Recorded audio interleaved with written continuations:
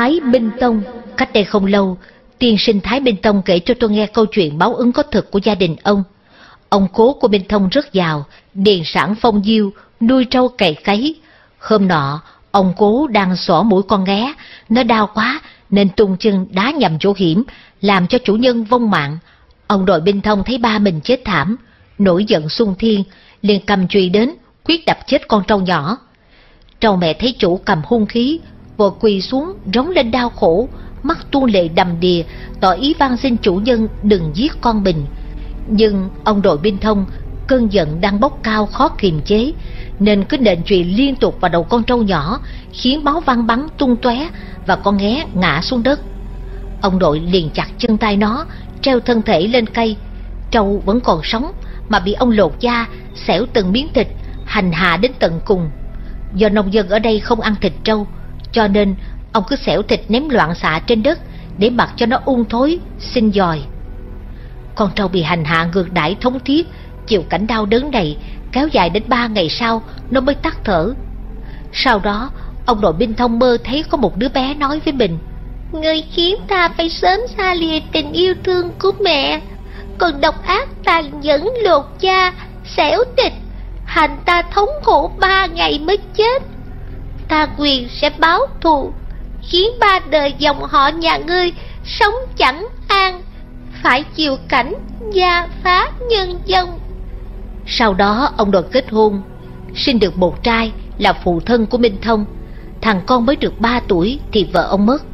Ba năm sau, ông đội lịch tục huyền, phụ thân Minh Thông trưởng thành, kết hôn và sinh ra Minh Thông. Khi Minh Thông được ba tuổi thì mẹ ông vô duyên vô cớ bỏ nhà đi mất. Minh Thông lên sáu tuổi thì phụ thân tục huyền. Tính ra cả hai đời họ Thái đều phải sớm đìa mẹ ruột và hứng chịu cảnh mẹ ghẻ ngược đãi. Hiện tại, ông nội, bà nội, cha mẹ Minh Thông đều đã qua đời. Minh Thông sau khi kết hôn cũng sinh được hai con, nhưng lúc con trai trưởng 3 tuổi, con thứ 1 tuổi thì tình cảm vợ chồng ông đang thấm thiết, bỗng sinh chuyện phải xa nhau. Khi thằng con cả 6 tuổi thì ông ly hôn vợ cũ và cưới vợ mới hiện nay. Thái Minh Thông hồi nhỏ từng bị em trai đánh vào đầu gây thương tích nặng, hiện giờ nơi đầu còn vết lõm vào. Người bình thường đi đường thì cắn chân và bắp đùi phải thẳng mới dễ bước, nhưng riêng ông mỗi lần đi đường do xương sụn chỗ đầu gối cứ nhô ra nên đi đường hay bị va đập, vì vậy mà phải mổ lấy xương đó ra. Không những thế, lúc ông phục vụ nơi quân ngũ, bỗng phát nhiên bị đau bụng, còn bị bác sĩ chuẩn đoán là đau ruột dư phải mổ gấp. Nhưng lúc tiêm thuốc, họ vô tình làm tổn thương thần kinh xương sống, khiến cho ông chẳng những không thể cúi khơm mà còn khó thể đứng lâu. Sau khi xuất ngũ, ông lại gặp phải tai nạn bị gãy chân. Hiện giờ, do gắn trụ thép ở bên trong, nên cử động càng thêm bất tiện. Chưa hết, trước khi ngủ, ông luôn phải nhờ vợ cầm chùy đến đệm vào chân mới ngủ được, ngày nào cũng vậy. Minh Thông khẳng định, mình chính là ông nội chuyển thế đầu thai, nên đầu mới bị đánh trọng thương, bụng còn bị mổ nhầm đau đớn. Đêm nào cũng phải nếm cảnh cho chùy đập vào thân mới ngủ được. Các hiện tượng này đều là trả báo. Năm nay Minh Thông 31 tuổi, nhờ tham dự Phật thất tu trì mà được cảm ứng vi diệu, có thể giới ra tiền kiếp và thuật lại cho tôi nghe. Vì vậy, quý vị không nên sát sinh, phải phóng sinh và phát tâm từ giúp người bần khốn. Nếu biết hỗ trợ giúp mọi loài sống an, thì cuộc sống ta cũng được an. Sư Huệ Thâm kể, ngày 30 tháng 10 năm 1982, trích dịch tạp chí Từ Vân quyển 7.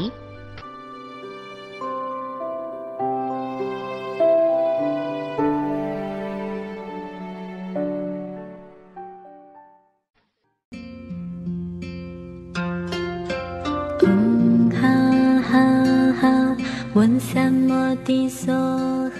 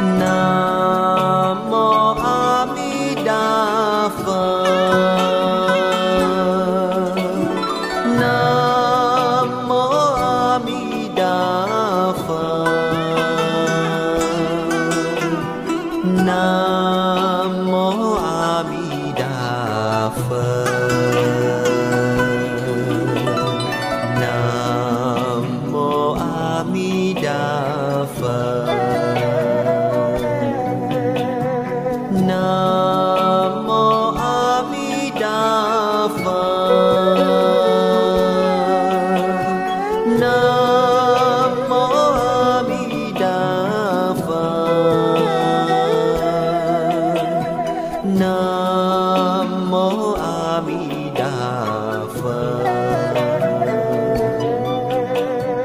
Nam mô A Di Đà Phật Nam Mô A Di Đà Phật